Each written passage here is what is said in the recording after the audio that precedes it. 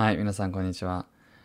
最近すごい悲しいニュース入ってきましたね。もう結構時間経っちゃって申し訳ないんですけど、クイーン・エリザベス。我がクイーン、我が女王。ついにね、96歳で、えー亡くなられましたね。まあ俺はみんなも多分知ってる通り、まあイギリスの中のウェールズっていうところで生まれて、まあイギリス英国人でもあるんですね。こう見えて。俺の女王ですよね。俺のクイーンですよね。ね、急に体調が崩したってね、まずニュース入ってから、えーその後ね、えー亡くなったということで、96歳ですね。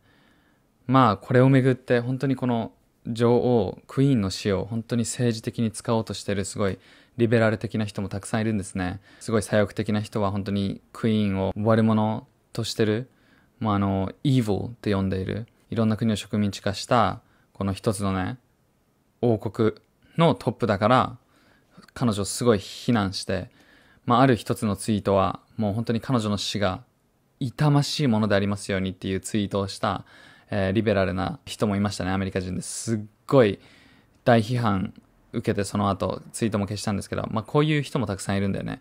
まあそこはどうこう一回置いといて、本当に彼女はね、間違いなく愛されてた人だと思うんですよね。俺もすごい好きだったし、あのやべ、イギリスのハーフだよって言うと、本当にクイーン、ロイヤルファミリー好きっていう人も結構意外に多いんだよね。そして、なんといっても彼女は、あの、まあ、いろんな意見ありますよ、これも。だけど、彼女は救われてたと思うんだよね。彼女は本当に信仰を持ってたと思う。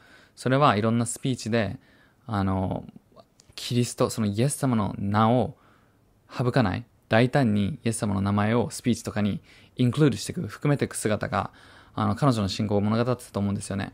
で、何年かも何かのスピーチでもうがっつり、あの、福音を 述べ伝えてた。みんなに向かってね。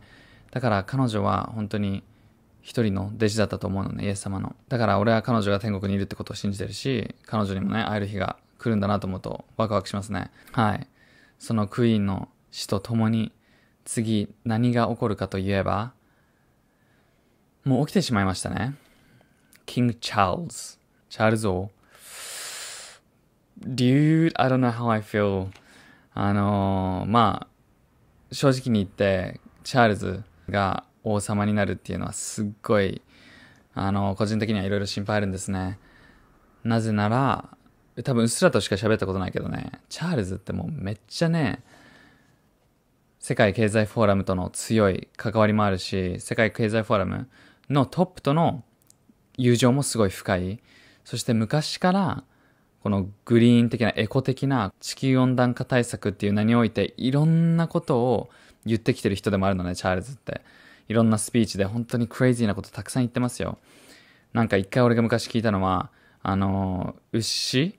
畜産業の牛のゲップのあのメタン？ガスがすごいから、あの牛にマスクをつけさせるみたいなのもチャールズ言ってた過去があるんですよね。もうそれ以上に統一政府とかも本当に彼はそこに進めようとしてる一人なんだよね。まあ、正直ロイヤルファミリーもさ、本当に、まあ、チャールズがいたりとか、その下のフィリップ、あんまり正直ちょっと結構心配系の人たちがいる中で、クイーンがね、エリザベス・クイーンが唯一そういうアジェンダとかから、こう、なんだろう、そういうアジェンダとかをクイーンが唯一こう排除してた人だと思うのね。こうやって本当に守ってた。だけど彼女が今亡くなったことによって、こう、チャールズがそこのね、王座について、あのね、そのアジェンダ、地球温暖化対策とかいろんなことを今度、イギリスの代表として言っていくことになる可能性があるっていう。皇太子じゃなくて今は王様っていうことで責任は大きくなると思うからそこまでいろんなことは言わないとは思うんですけど、でも、チャールズさんね、彼自身、彼が考えていること、彼がどういうアジェンダに影響されてるかっていうのを見たら、結構心配はありますね。はい。間違いなく。あの、ちょっと余談なんですけど、俺はちなみに、あの、ロイヤルファミリーとかあんまり詳しくなかったんですね。しっかりしろよ、イギリス人やんけ。という声が聞こえてきました。だけど、あんまり知らなくて、あの、チャールズって結構おじさんに見えるでしょ、正直言って。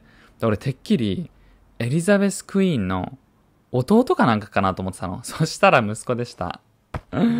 めっちゃおじさんに見えるんですよね。悪口じゃないんですけど。そして、そのキング・チャールズに加えてですね、首相も変わりましたね。クイーンが亡くなる前に。リズ・トラス。ですよね。俺もあんまりね、彼女のことはよく知らないんですね。だから、俺から深い情報を得てほしくないんですね。まだ彼女については勉強したいと思うので、これからね。もし意見がある人は教えてほしいんですけど。でも、いくつか知ってることによると、最初ね、俺彼女がなった時に、ああ、まあ悪くないじゃんと思ったら、なぜかというと、彼女はすごいイスラエルと友好な関係を築こうとしてる人。そこをまず一つのポイントとして俺情報を手に入れたから、あ、この人悪くないなと思ってたの。それはイスラエルでも結構知られてる話で、イスラエル人もどっちかというと結構喜んでるのね。だけど、あのー、まあ驚きではないんですけど、彼女ね、彼女も世界経済フォーラムの大きな重要人物の一人なんですね。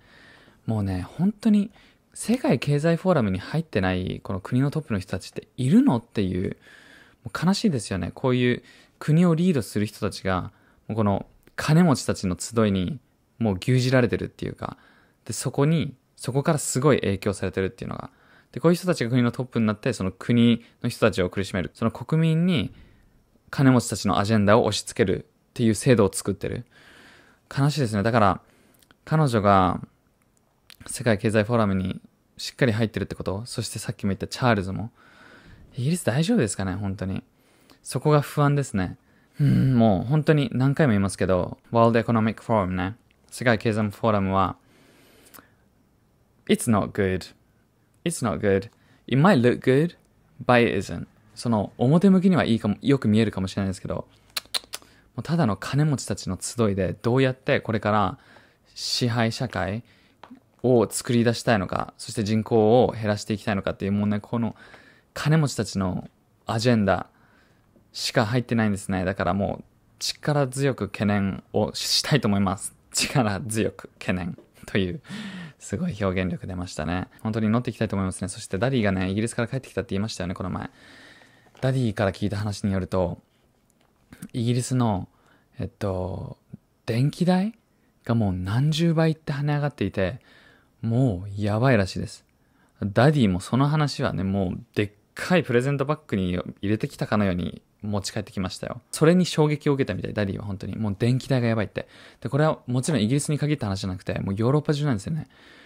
まあそれが、このロシアとのね、関係の悪化によるものなのかわかんないけど、まあそうだと思うけど、でも本当にこれからどんどん人々の生活が追い込まれていく。まあイギリスも例外ではないんですね。